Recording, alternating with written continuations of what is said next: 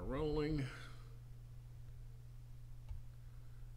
So, I was watching this video the other day of this guy trying to explain how to figure rafters, and it was really so frustrating to me because it was so overcomplicated.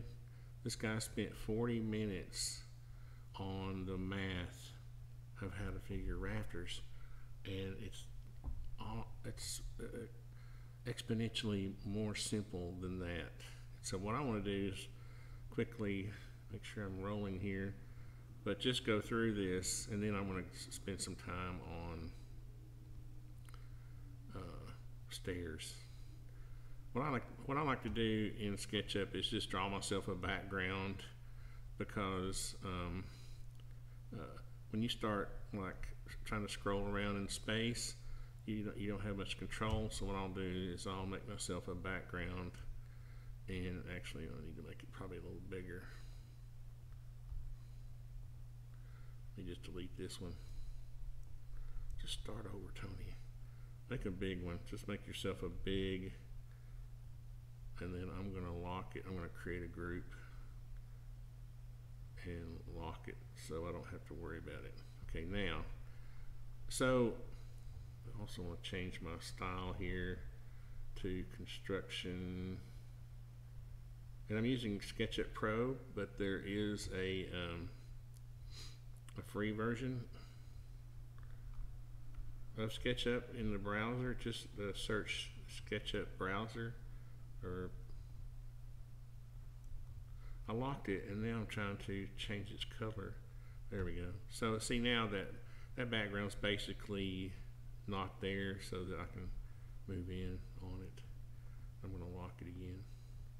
Okay, so let's do rafters right quick. So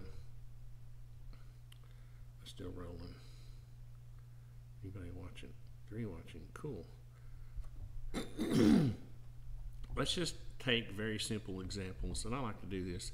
And I'm not, I'm doing this. It's it's not because I, I don't want I don't want people to think that things are complicated when they're not. It's annoying to me, so this is why I'm doing this. But we're going to start off with some simple examples, and I'll show you how simple this can be. And like a typical small house is 24 feet uh, wide, okay? let's just draw ourselves a 24 foot line. And you might say to yourself, well, if I'm going to build this roof, I think I want it to be four feet tall.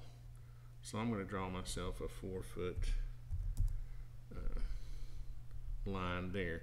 Oh, look, what do we have? A triangle. Wow. okay, so now how can I do this simply? So let me go back to my um, camera here. I'm going to take my phone and I'm going to hold it up to to to the camera here, or to the yeah to the camera here just a second. But I'll show you how easy this is. When you are figuring rafter lengths, we're obviously talking about the Pythagorean theorem, right? A squared equals, where can I, where can I just get a pencil that I can draw freehand? Here we go. This is going to be A, and this is B. Well, you know what's funny is I've never actually used a freehand pencil in SketchUp before, okay? And this is C, okay? Um, we know that our house was uh, 24 feet wide, so we know the run of our, our, our which is half the span, is uh, 12 feet. Okay, when we said this arbitrarily that we want this to be four feet because we want the house to be easy to build and we want to save on materials and all that. So we're going to say this is four feet. Okay, so I can do this math in my head. Uh oh. When I get that black screen, I have to go check to see that I'm still rolling, and I am. Okay. Go back to SketchUp. So I can do this math in my head, right? I know that 12 times 12 is 144. Okay. I know that four times four is sixteen. This is all simple math, right? All I have to do is add those two numbers together, which I can tell you right now is what, hundred and sixty? I can do that math in my head, hundred and forty-four plus sixteen equals hundred and sixty, okay? Now, let me go back to my open broadcaster here a second. So, on, on your iPhone, if you turn your calculator sideways, you get some nifty little things here. I get a square root thing, a button. And all I have to do is hit square square root. I have to be able to see it first. There it is. And so I know that it's 12, what does it say? 12.649. And by cracky, if I take my measuring tool and I measure that, it comes up to 12 foot 7 and 13 sixteenths, okay? Well, guess what the fraction 12.649 is? It's 12 foot 7 and 13 sixteenths. Okay, you see how easy and quick that was? Now you say, well, Artisan Tony, how does that translate into a rafter? Well, what is going on with my software today? I just need to make sure I'm still broadcasting. Sometimes the thing will freeze when it's doing that. Well, all you have to do now is go into your trusty um, should I leave all that up? No, you can I can erase all this junk. That's funny, that is literally the first time I've ever drawn freehand in SketchUp. I usually draw nice pretty straight lines. Okay, so now let's say this is our house, okay? I'm just going to draw myself a box here to represent the, and that should be 24 feet by 8 feet, we'll say. Okay, now we're first of all going to draw this rafter as if it's just sitting on the top plate, okay? And we know our, let's, let's say we're good carpenters and we're going to use 2 by 8s. Okay, that's 7 and a quarter, 7.25. Okay, I just drew, and I, am being a little sarcastic here, but I'm, I'm trying to try to be nice, but these people just make this way too complicated, okay?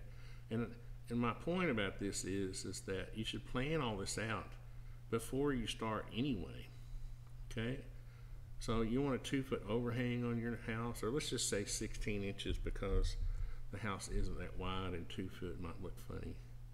I like two feet, but um, oops, I let my inference go there, didn't I?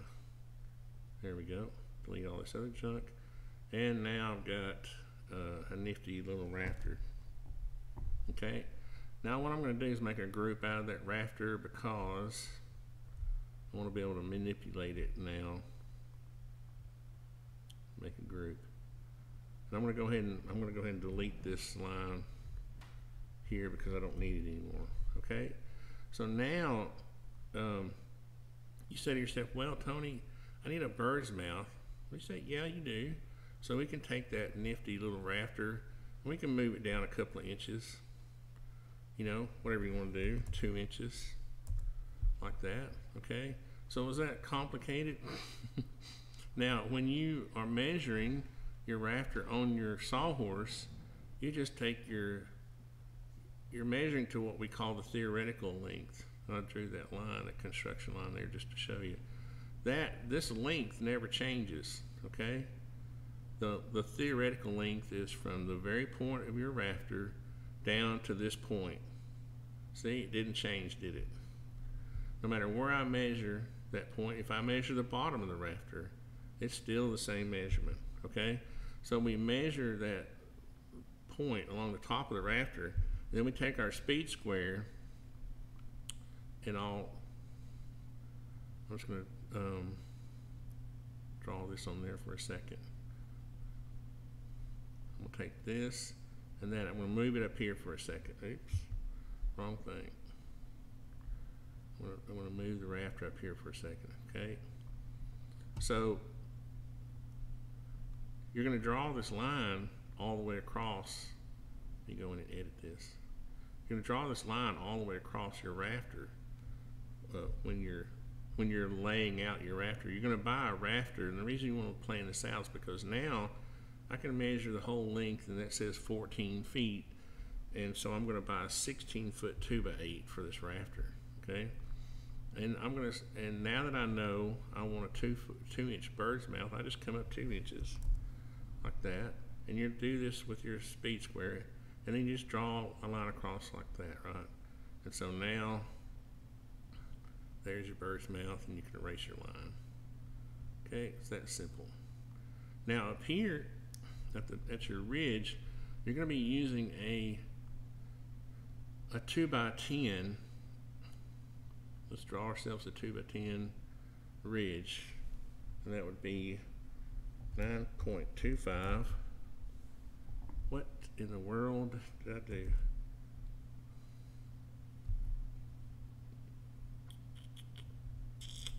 Nine point two five by one point five. I forgot to enter the, the width, okay? I'm gonna make that a group just because I don't want it to stick.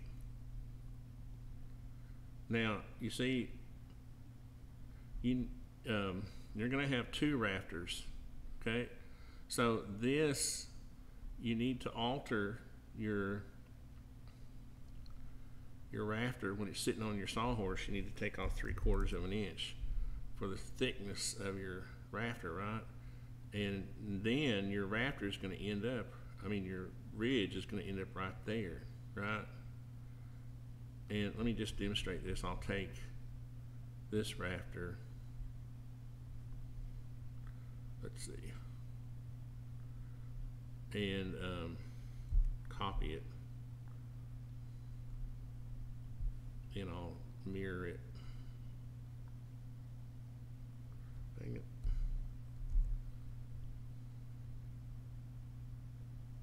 Okay, I accidentally put the ridge in there. Delete that.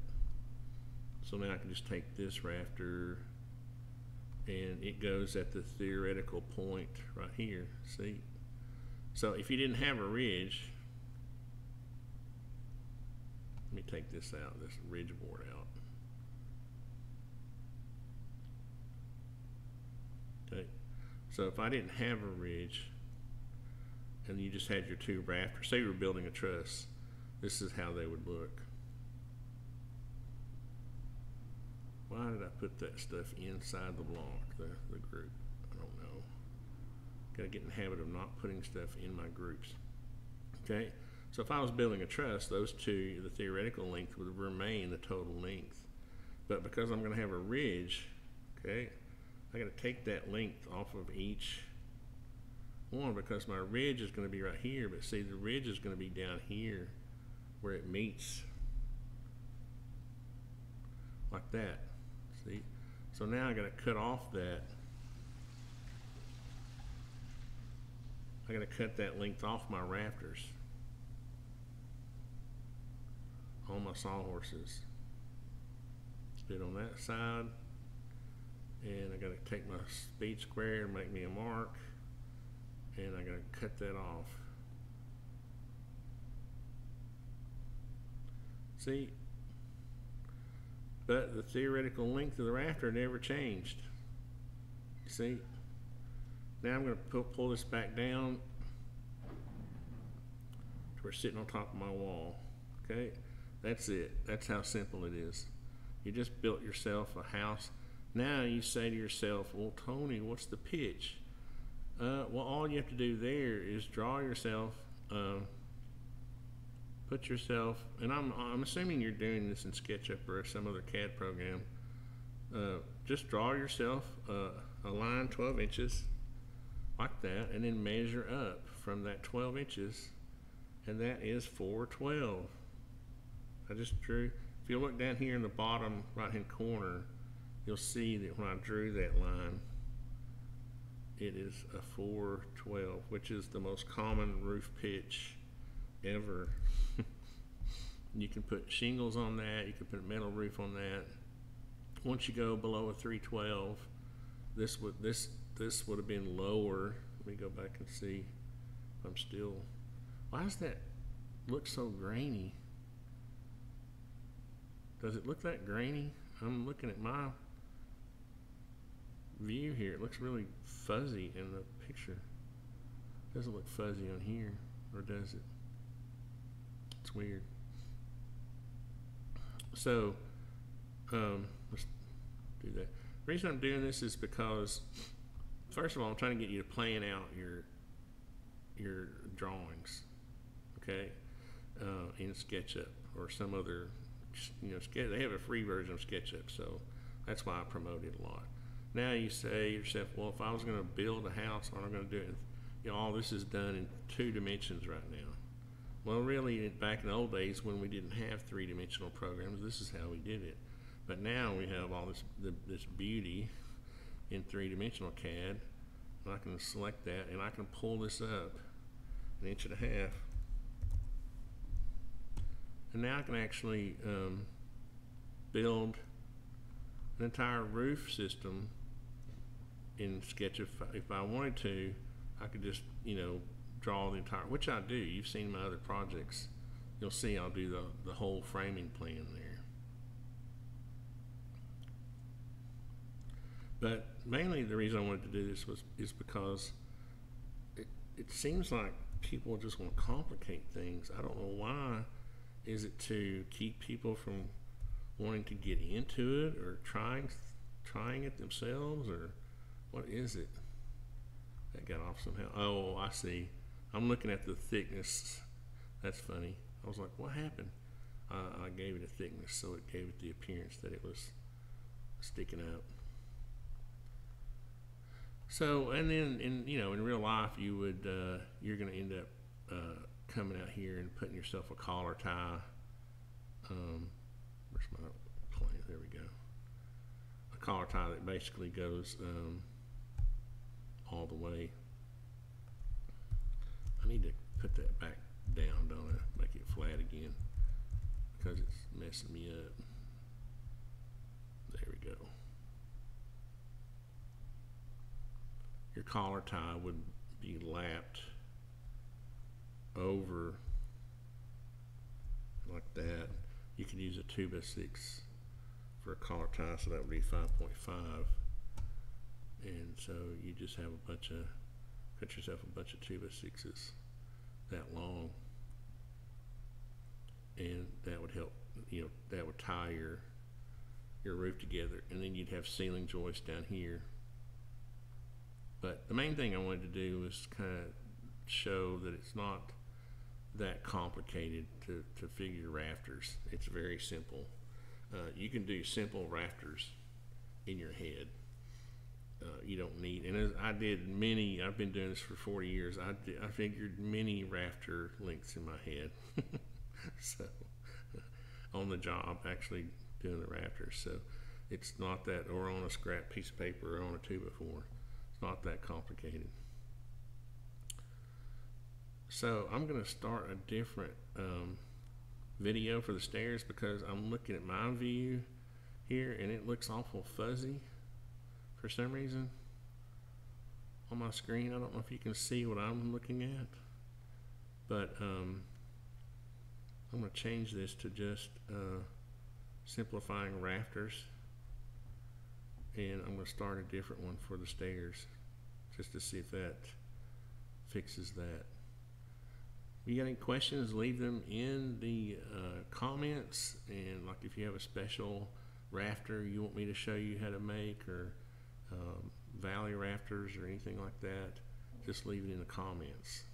Thanks, guys.